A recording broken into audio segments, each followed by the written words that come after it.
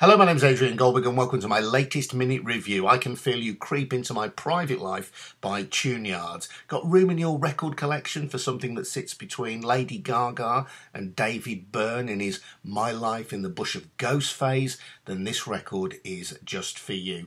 Tuneyards are essentially Merrill Garbus, an elastic voiced New Englander with a songwriting style that needles away at white liberal sensibilities, including her own. Take the standout track here, Colonizer, with the lines I use my white woman's voice to tell stories of travels with African men.